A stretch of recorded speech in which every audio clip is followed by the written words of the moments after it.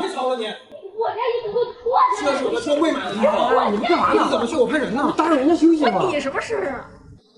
妈，我给您叫的专车到了，您先走吧。没事没事，走吧。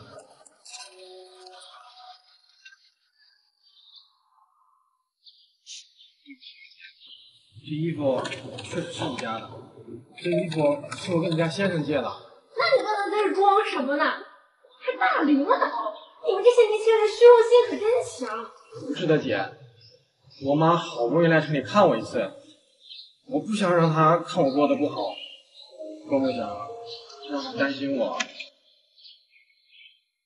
海浪无声，将夜幕深深淹没，漫过天空尽头的。不是你这样也不是办法呀，你得告诉你妈到底怎么回事嘛。哎，别别别，别告诉他！如果要是让他知道，他的儿子只是一天八十块钱搬运工的话，那他就不舍得吃掉了。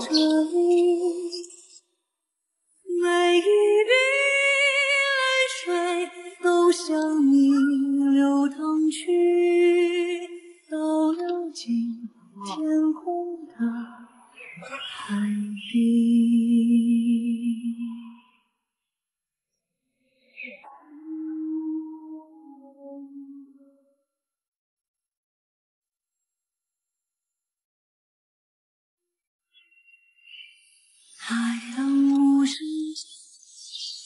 给妈的钱，妈没舍得花，咱们去买件新衣服吧。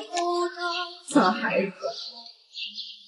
妈不需要你多成功，你这样也让妈很骄傲。不管怎么样，你都是我儿子。看你飞去。